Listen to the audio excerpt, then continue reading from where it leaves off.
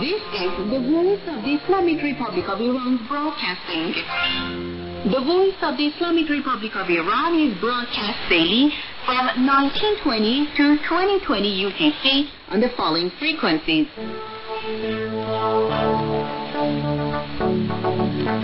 Shortwave, 31 meters, 9,855 kilohertz for Europe, and 31 meters, 9,835 kilohertz for Southern Africa, and FM 91.5 megahertz for Tehran. You can also listen to the voice of the Islamic Republic of Iran on Hotbird, Eutelsat 3B, and IranSat or Badr 5, and via internet. Our internet address is parstoday.com forward slash en.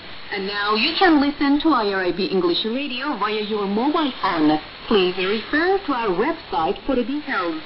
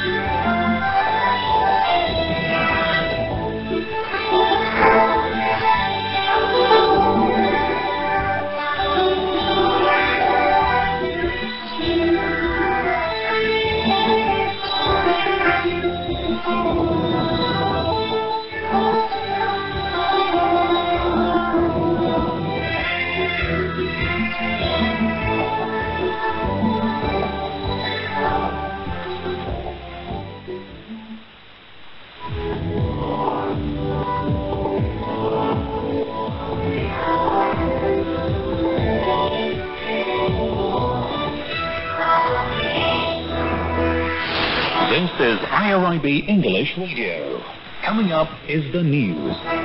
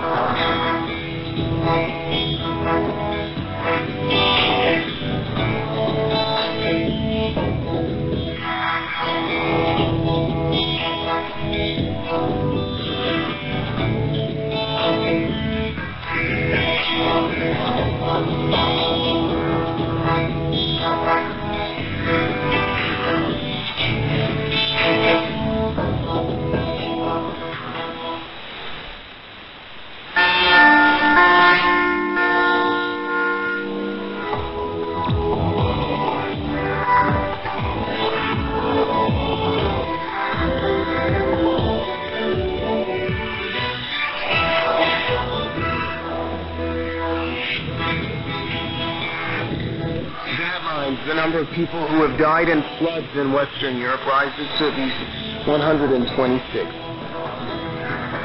Russia reports 799 coronavirus-related deaths, the highest in a single day since the pandemic began.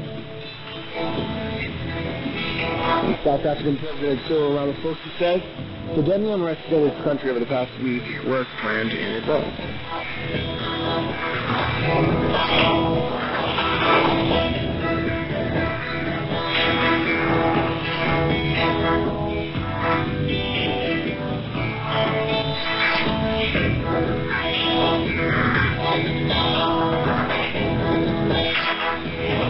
Hello and welcome everybody here in the Iranian capital, Tehran. This is World News.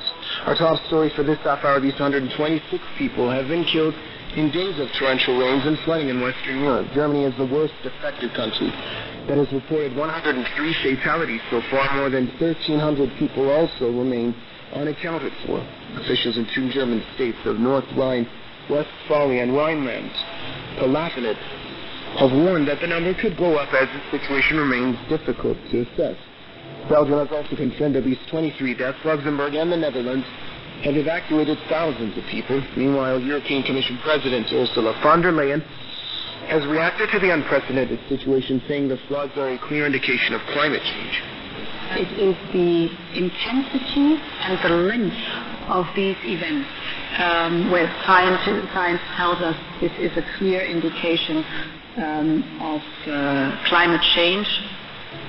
Speaking in the Irish capital Dublin, der Leyen added that the situation in Western Europe shows uh, urgency to act on climate change. German President Frank-Walter Steinmeier has also expressed shock at the extent of damage, highlighting that it was time to battle climate change. More heavy rain has been predicted across the region, with experts blaming climate change for the flooding. Well, Russia has uh, reported nearly 800 coronavirus-related new deaths, the highest in a single day since the pandemic broke out there.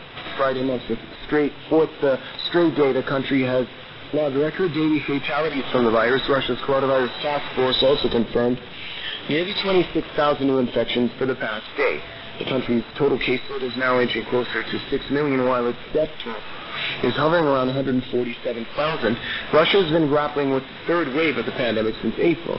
Previously, the Delta variant and uh, people's reluctance to get vaccinated as the reason for the spike. The capital, Moscow, and the second largest city, St. Petersburg, remain the epicenters of the recent outbreak. Russia is the worst hit country in Europe by the pandemic in terms of both infection and death.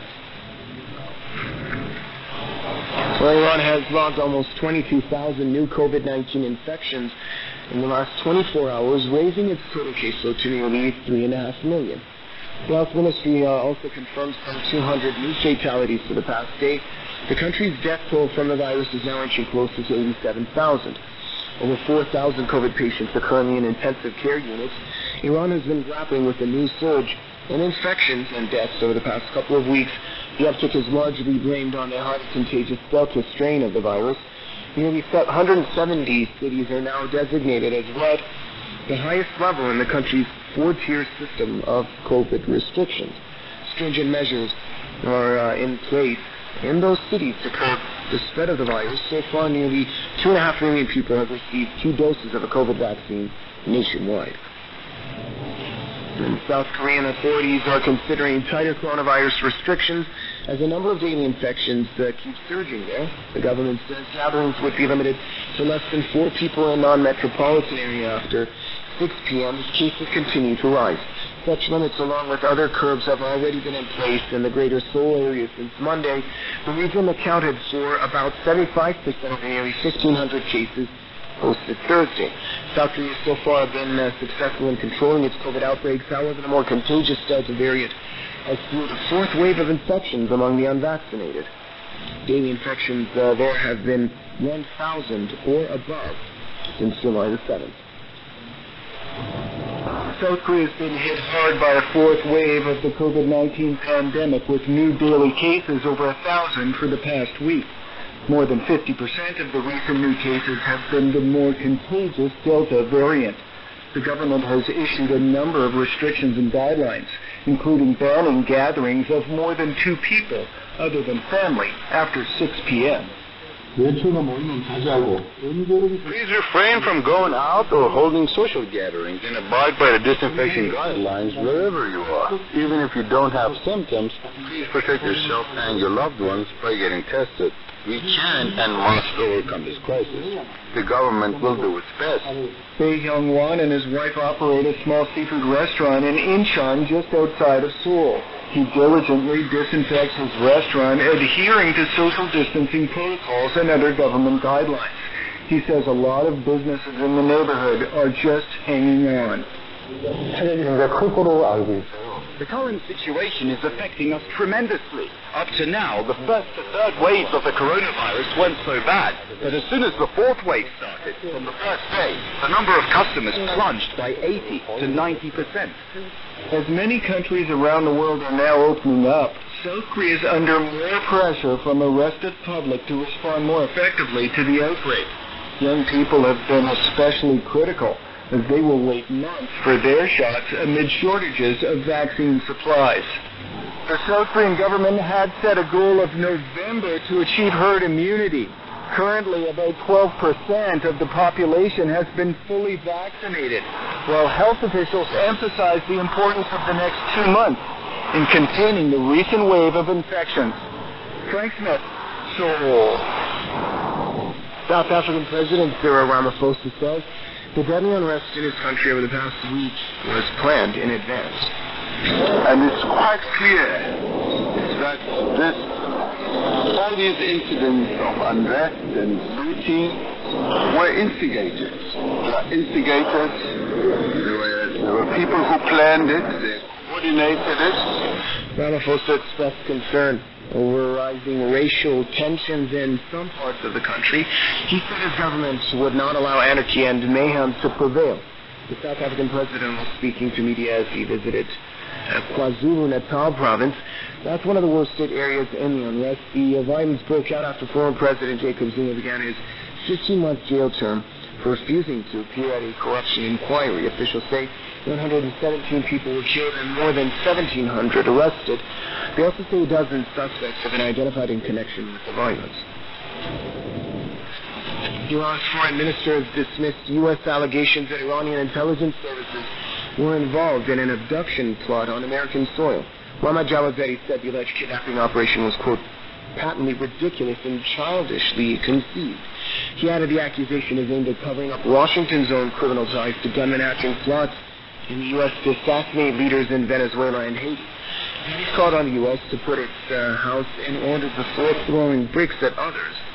On Tuesday, the U.S. Justice Department accused four Iranian intelligence agents of conspiring to kidnap an anti-Islamic Republic figure in New York for rendition to Iran. Cuban President Miguel Diaz-Canel says the United States' efforts to destroy his country have failed despite spending billions of dollars to do so. Diaz-Canel said, a failed state is the one that multiplies the damage to 11 million human beings ignoring the will of the majority of Cubans, Americans, and the international community. He set such a policy to uh, prove itself by blackmailing a reactionary minority. He cited U.S. trade embargo in place against his country since 1962, which was enforced under former President Donald Trump. The reaction came after U.S. President Joe Biden on Thursday described Cuba as a failed state and accused it of, rep- of uh, repressing its citizens. The Caribbean island nation has been witnessing anti-government protests since Sunday over the worst economic crisis in decades.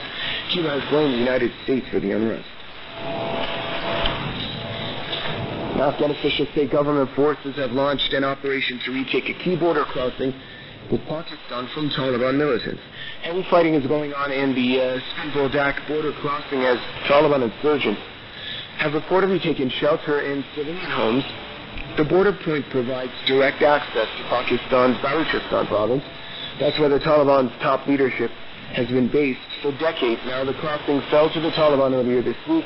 The militant group has also captured Afghan border crossings with Iran and Turkmenistan. Uh, they stepped up their attacks in May, taking control of a swath of territories in Afghanistan. The military has pledged to retake all those areas. Now, correspondent Tommy Nalini quotes Afghan authorities as saying the military is regaining control of some territories captured by the Taliban. The Afghan government officials uh, here in Afghanistan, Defense Ministry says that Afghan military forces have retaken uh, the control over some of key districts, mainly northern and southern parts of Afghanistan. One of those uh, key districts and areas is Spin Buldak that connects uh, southern Kandahar province to uh, neighboring Pakistan.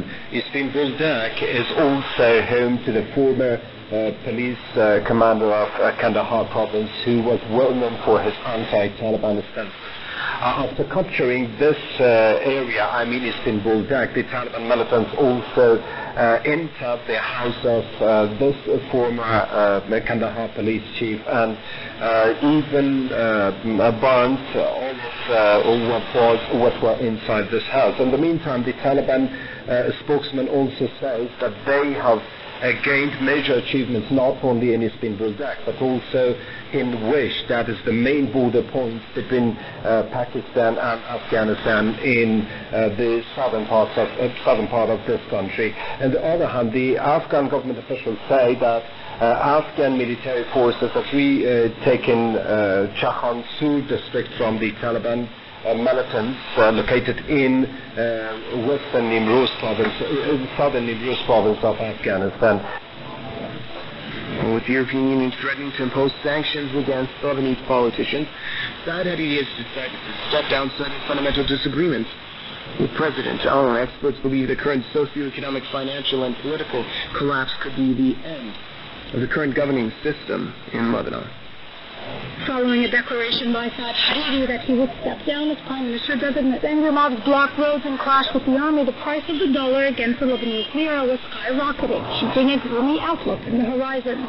In an interview Thursday night, Hariri blamed President Zahran for impeding the cabinet formation process and for his resignation. The group led by the president has decided not to cooperate with Saad Hariri. And all the obstacles that I have faced are because of that group. I did not want to just negotiate while knowing that I cannot form a cabinet. So I resigned because it seemed to me that President Aoun does not want to form a cabinet.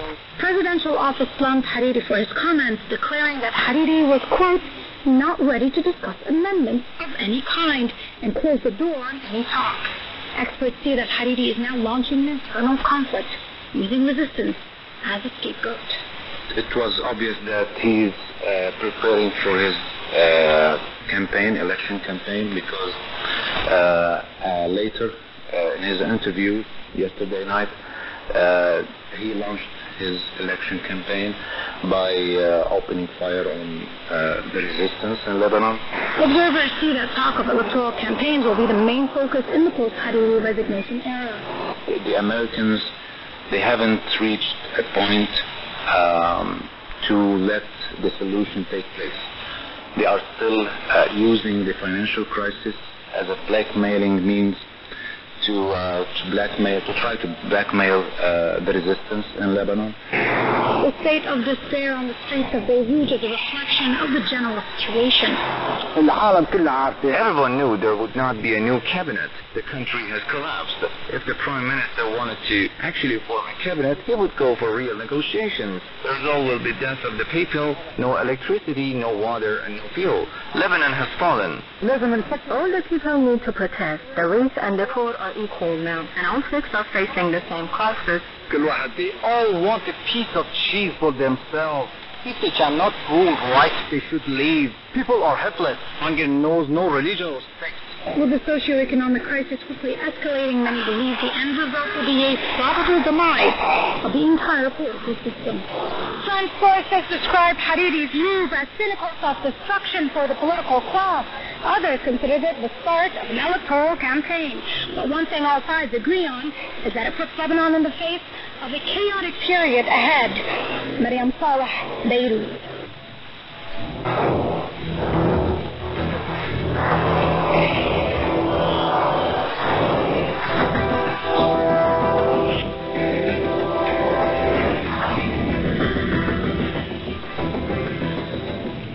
Arab Emirates is moving closer to Israel despite widespread calls to reconsider its policy toward the regime. Economic considerations are largely at play when it comes to the controversial detente.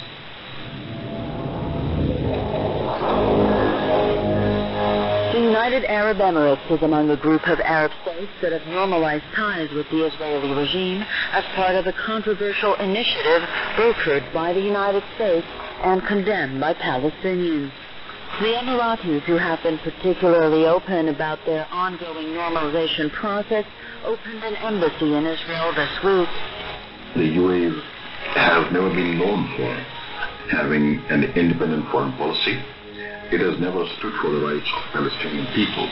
Historically and recently, as you've seen, the UAE has always aligned this foreign policy with the foreign policy objectives of Western countries like the US and UK.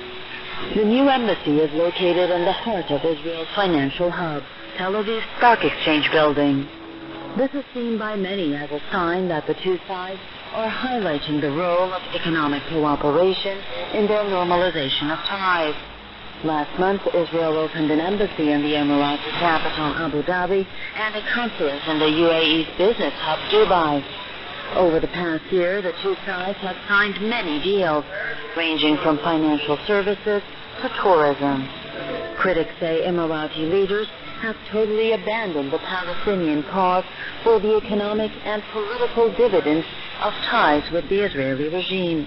The controversial normalization process is very much ongoing despite Palestinian anger. Palestinians are outraged by the normalization which they believe is threatening their planned statehood. The stances adopted by these Arab governments seem to be helping the Israeli regime to move out of deep isolation in the West Asia region. Palestinians say those Arab states are stabbing them in the back. And that brings us to an end here on this edition of World News News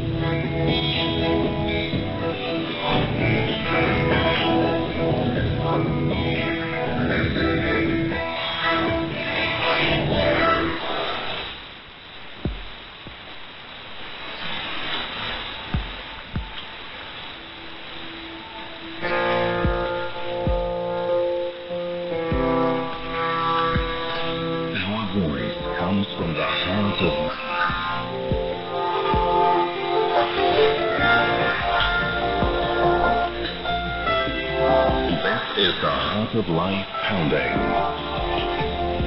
IRIB English Radio.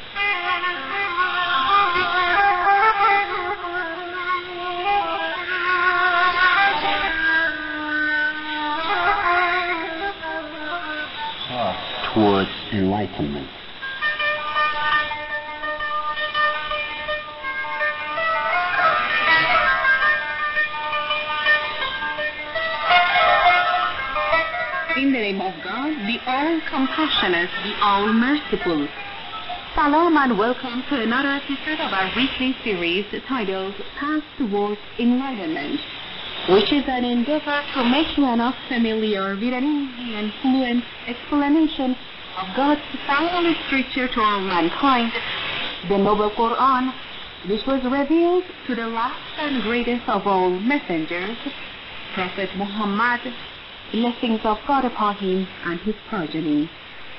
As we know from our explanation so far of Surah 5, or Manifest Victory, which God Almighty describes the Prophet's treaty of Hudaybiyah with the pagan Arabs of Mecca, several Bedouin who claim to be Muslim, but whose hearts were devoid of Islam, disobeyed divine commandments and resorted to lame excuses, lies, and hypocrisy for their failure to accompany the faithful, since their main concern was booty and not faith, even though the All-Merciful readily forgives those who repent and reform.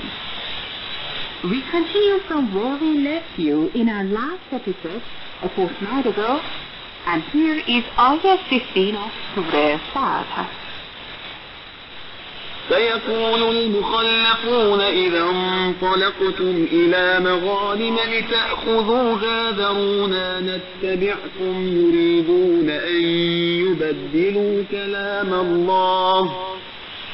قل لن تتبعونا كذلكم قال الله من قبل فسيقولون بل تحسدوننا بل كانوا لا يفقهون إلا قليلا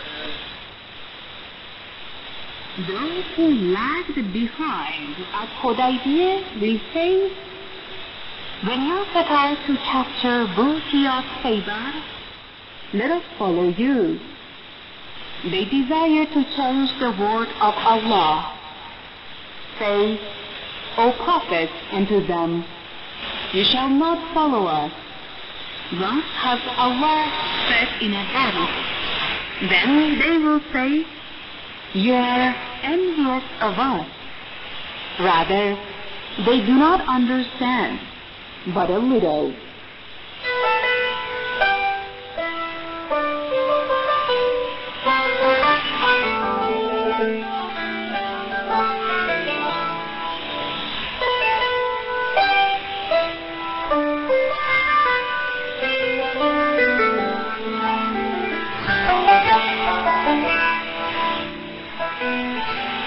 You recall, in our last episode of this series a fortnight ago, we explained the preceding ayahs of this surah saying, wrong assumptions bring ruin and self-destruction, especially when divine laws are deliberately disobeyed. Since our faith depends on our faith and the deeds we do, whether good or bad, which either bring divine reward or divine punishment.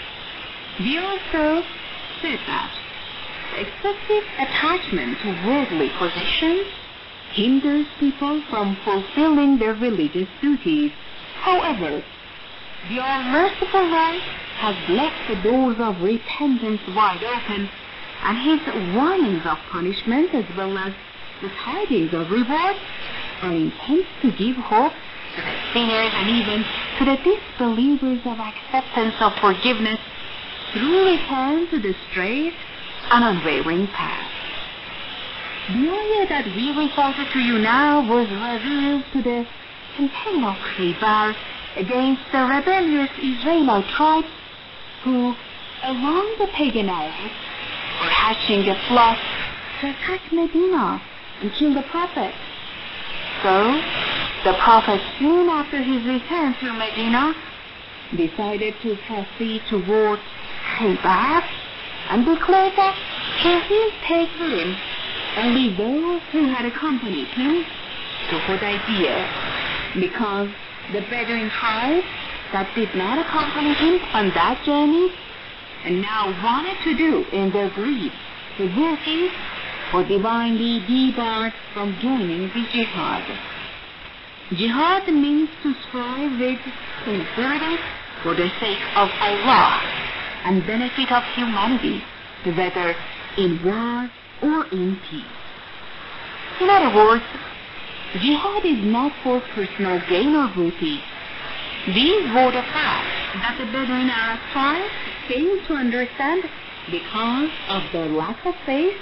Although they were clever in worldly matters, they were ignorant of the spiritual issues and wrongly said the Muslims and the Prophet were envious of them. This teaches us that, number one, divine mercy precedes divine wrath, and it is only our deeds that bring us reward or punishment. Number two, most Bedouin tribes paid only lip service to Islam, while their hearts were devoted faith in God and the Prophet. Number three, among the characteristics of hypocrites is that they are opportunistic. Leave the scene at the time of danger by resorting to various pretexts, but when they're easy gains, they want to have the major share in them. And number four, it is the habit of the hypocrite to accuse the faithful in a bid to cover up their own faults and crimes.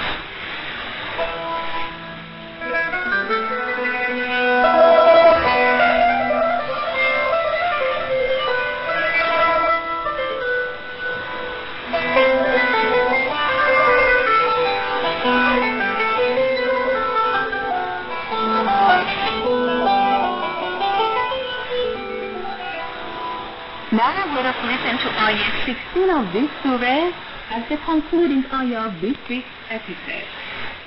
قل للمخلفين من الأعراب ستدعون إلى قوم أولي بأس شديد تقاتلونهم أو يسلمون فإن تطيعوا يؤتكم الله أجرا حسنا فإن تطيعوا يؤتكم الله أجرا حسنا وإن تتولوا كما توليتم من قبل يعذبكم عذابا أليما Say to the Bedouins who lag behind, you will be called against the people of a great might. They will embrace Islam, or you will fight them. So, if you obey, Allah will give you a good reward. But if you turn away, like you turned away before, He will punish you with a painful punishment.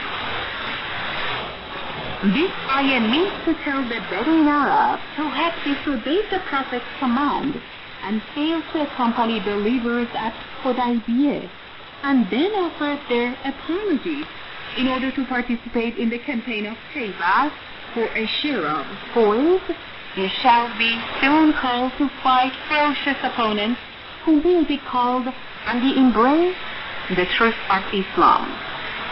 If you obey divine commandments and fight for Allah's cause, He will grant you fair reward. But if you turn away, as you have done before, you will be punished by God Almighty. If you are really regretful of your past, you can prove your honesty in the coming hardship, since God has kept the door of repentance open for you. You should, however, not enter the battlefield with the expectation of booty. In this way, you will receive the mercy that God bestows upon the combatants adhering to the right path. From this ayah we'll learn the following points. Number one, the door of repentance is wide open for sinners and disbelievers as part of divine mercy. Number two, we should never underestimate the enemy and never consider past victories as a guarantee for future success. Number three, the Muslims ought to build a formidable tower of defense to deter the enemy from any evil design and him if they attack. And number four, jihad, whether it is peaceful, striving, or defense against enemies on the battlefield, is for the sake of God and safeguarding of humanitarian values and not any ulterior motives.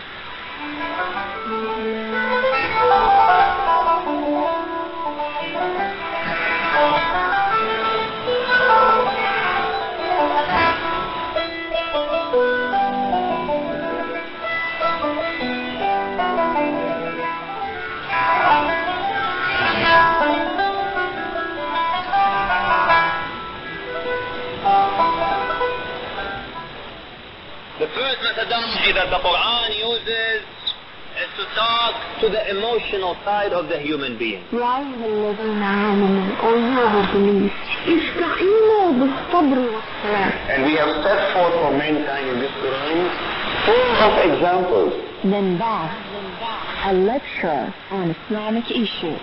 Islam is the way of life, a complete way.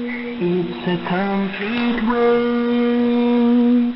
Dear listeners of IRIB English Radio, Now let's listen to Brother Hasnain Rajab Ali. Bismillah ar-Rahman ar-Rahim. Assalamu alaikum everybody. May Allah bless you all for joining us tonight. If we practice religion well, or at least in a way where we have an open mind by which to question things and to get closer to Allah, our children will practice the same behaviors and they will get closer and become leaders of the, of the society. And you made a very critical point about unity. Quran addresses this, وَاعْتَصِمُوا بِحَبْلِ اللَّهِ جَمِيعًا وَلَا تَفَرَّقُوا Hold on to the rope of Allah together and don't de- deviate. We always say we have differences of opinion, but have become a tool and a means by which to cause us to regress.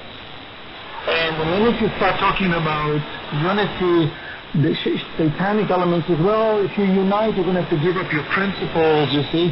You may have to adapt to the other person's ideas, and that, that may not be such a good idea. You know, when you have an interfaith dialogue and you're going to call people of other faiths, like Buddhists and Christians and Jews, you may have to do things that you may not like, and that may be in violation. This is, it appears like to be, you know, this is mashallah, a very, uh, what we call a careful approach. And it's okay, thank you for informing me on that. But Should I not do it?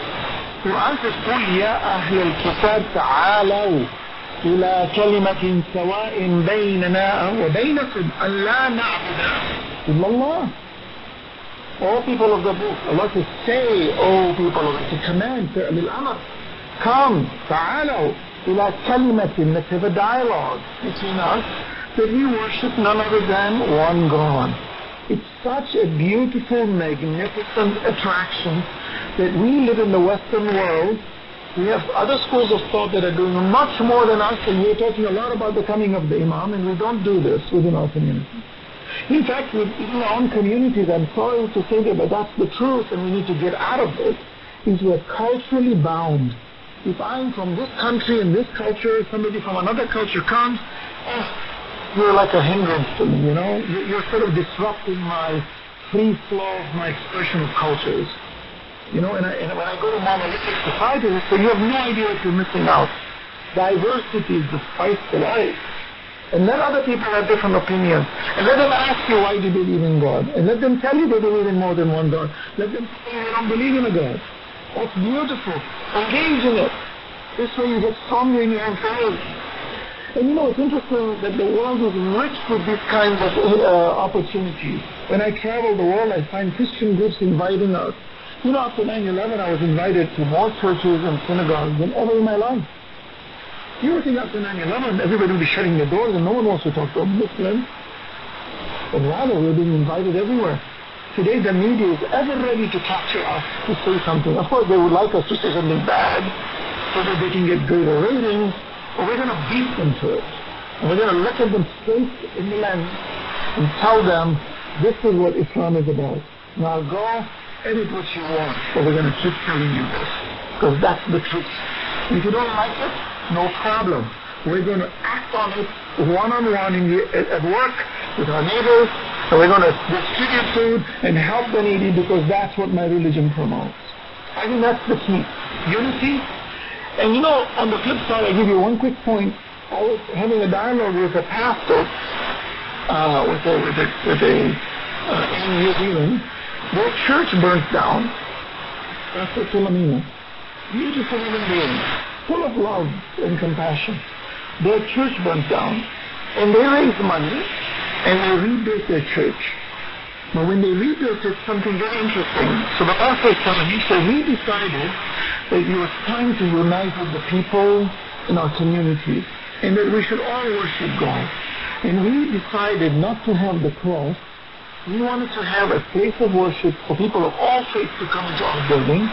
And then on Sundays, we bring a, what we call a mobile cross, and we do our Sunday Mass, but we remove it so that we want to give everybody their free space because we feel we all worshiping God together, Muslim, Christian, Jew, Buddhist, worshiping God together has greater power than us just worshiping God within our own little circle. Wow. And I looked and said, wow, how many of us would have the guts to do that? No, we would say, no, no, no, you remove that cross. My identity is gone. Tomorrow there will be no cross. No, no, no, I can't do that. I got to protect my religion. And what's happened is we become protectionists, and then our children tomorrow don't even come to churches, don't come to the mosque. According to the Detroit, uh, you know, Archdiocese of Detroit, 95% of Catholic youth never enter a church. 95%. In Germany, on Christmas Eve, there's so many people, because everybody wants to go on Christmas Eve, that the local congregants in Germany complained that they have no, no space to come and worship on that day, whereas 364 days a year, it's empty, or low participation. And suddenly one day everybody shows up. Now you can look at it two ways. So thank God they all come that one day. Thank God there's room, there's hope there. So let them come for that one day. Maybe that one day will inspire them to do two days, maybe five days, maybe a month, maybe six months, maybe 365. We can look at it that way too. But we can say, well, nobody comes to church except on that day. Well, that's a problem too. So why do we only come and take the pill one day, like us, even us on the day, you know, Ashura. People who don't even pray, they come and show themselves up for Ashura. People say, this is Monafiq, this guy's a, you know, a hypocrite, he's coming one day. I said, stop. He loves Imam Hussein. Yeah, but he's drinking. I said, stop. He's got Imam Hussein in his heart. For God's sake, that's the hope we have. Hold on, bring him. One that one day. Maybe that will see to two days, maybe to ten days. Maybe tomorrow he'll drop his alcoholic behavior and he'll drop his bad behavior or her bad behavior because they love Imam. They love God. The love of God is through prophets and imams. What we find is that we need to encourage each other, unity. We need to be pragmatic and practical. But there's so much to talk about. We're out of time. And we're really, really honored that we have an audience that's listening to this and they continue to listen to it globally around the world. And we feel that this message is for all of us as a human race. During this COVID situation, there are people who don't have food. I just watched a video today. A group of brothers have a, a Middle Eastern restaurant decided to open up and make food and feed the hungry and they give a thousand dishes, you know, thousand, they feed a thousand people a day in Australia, you know, brother, you know, brother Hussein, mashallah, Hajj he's doing the same thing. He's coming with the news. Muslims are doing this. This is the proactivity. The Christians doing this. People of other faiths doing it. Let's take care of the needy. We're losing people sometimes, not necessarily because of COVID, but because of depression. There is an increased of, for example, uh, domestic violence because of this problem. We are neighbors. We see that situation. We see a child is bruised. Do something. Let's, let's get engaged. That is what the Imam wants to see. The Muslims are an example of that locksmith. The Imam is saying, if you're honest, I will visit you. You don't have to find me. I know who you are. I will visit you. People say, I want the Imam to visit me. You know how the Imam visits? When you and I do his work. Then he's visiting us. You don't know that one person comes and says, Salam alaikum, very good job. Alaikum salam, thank you. You have no idea that was the Imam would just say thank you. You have no idea. Does it matter? No. What matters is, is Allah pleased with me? And am I going to stand on judgment day having done something?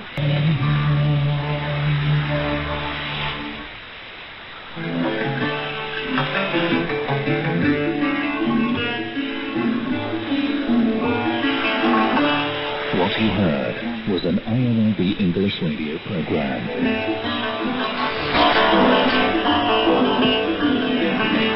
IRIB log on to our website, www.parstoday.com forward slash EN.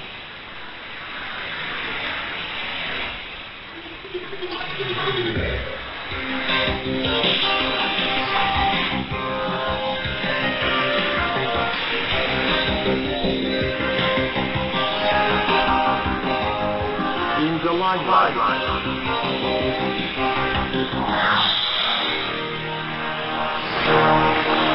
The government has announced the removal of all public health measures, meaning that population immunity has to do all the work.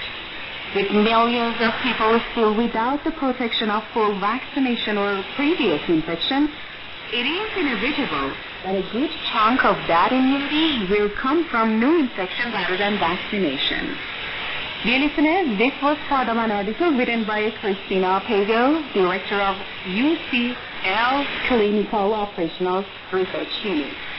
This article is published under the heading Boris Johnson gave two reasons for lifting all restrictions. Both are wrong. Here's more on the story.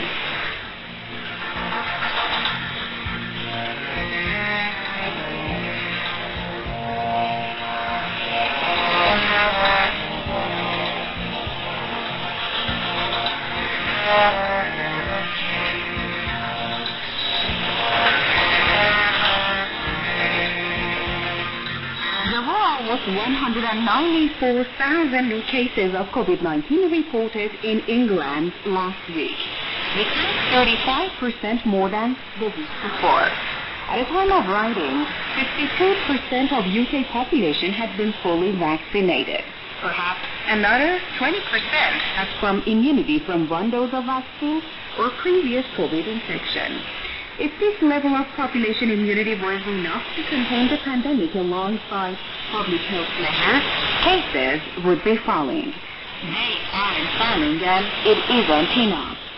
So cases will keep rising, currently doubling every fortnight or so until either population immunity is high enough or public health measures are effective enough, or a combination of both, to halt COVID's spread.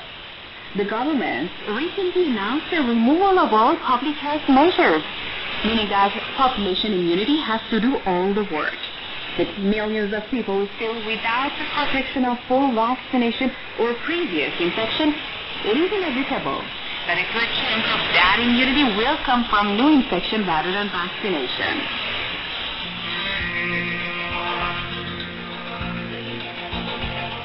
Dr.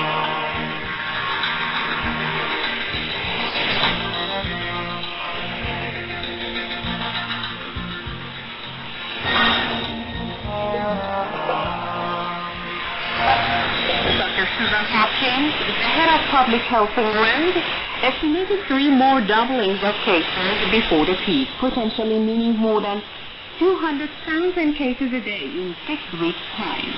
Even the health secretary, Sajid Javid, consists there are likely to be more than 100,000 cases a day, implying around two more doublings, which would be higher than the highest recorded day in January. This could easily mean another 2 million people infected before cases return to the low levels we saw in early May. Meanwhile, the report suggests the government is already planning for a fourth wave this autumn due to the return to school and university, colder weather, and some waning of vaccine effectiveness over time. The question then is, how much millions more cases matter, given the economic and mental health benefits of further opening?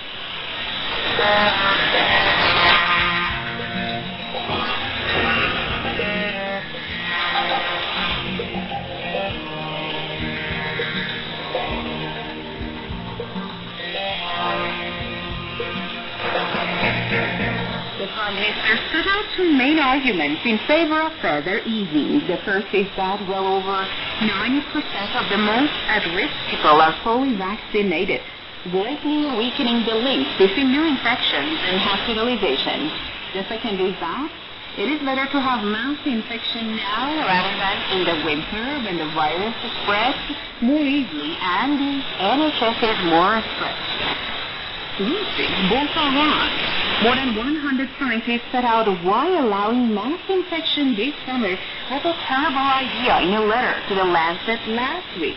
Dr. Mike Ryan, the executive director of the World Health Organization's Health Emergency Program, called such a strategy moral emptiness and epidemiological stupidity.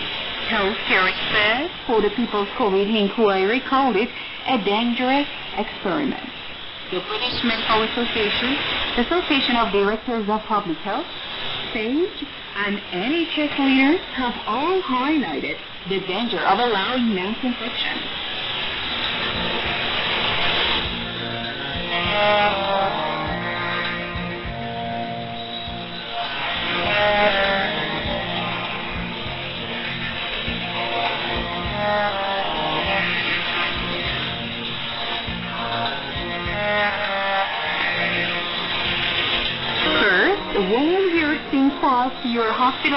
Hospitalizations than would be the case without a vaccine, hospital admissions are nonetheless rising exponentially.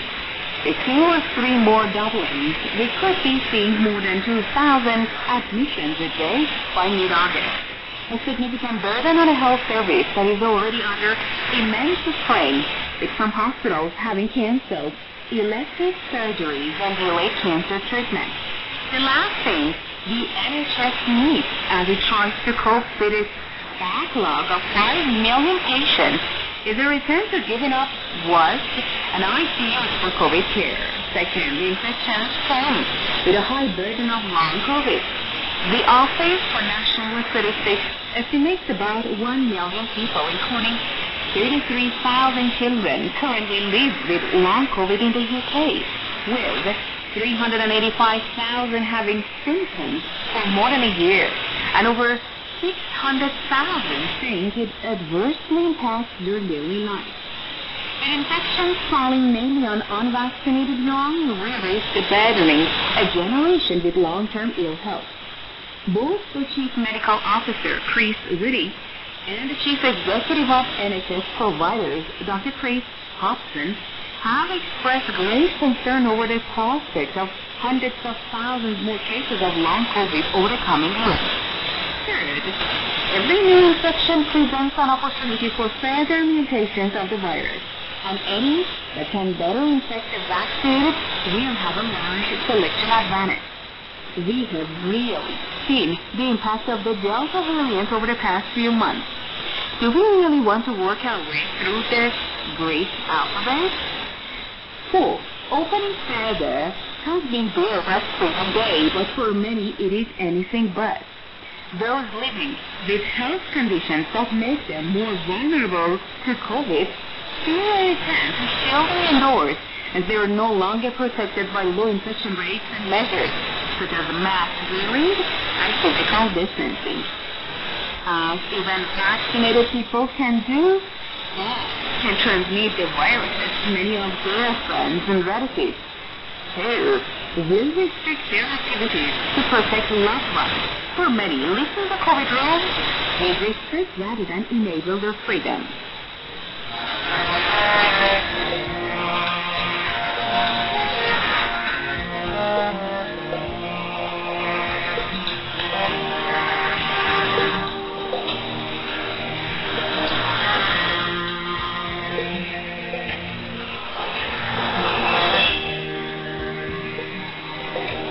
Ultimately, all of this is unnecessary. People have safe and highly effective vaccines that work for use in everyone over the age of 12. There are excellent vaccination programs around the world. Evidence suggests that immunity derived from vaccination is more robust than immunity from infection, particularly against new variants. People could offer two doses of vaccine to everyone over 12 by the autumn, offering as many people as possible the protection of vaccination rather than the gamble of infection. The argument that delaying now will only result in more infections later in the winter ignores three things. The protection millions more, including adolescents, can have from vaccination, the potential for vulnerable adults to receive booster shots in autumn, and crucially, ability to offset the additional infection risk of winter with public health measures. If you accept that infections both matter and are avoidable, then it's not about further opening on July 19th. It can only make things worse. But about what we can do now to halt exponential growth and bring down cases.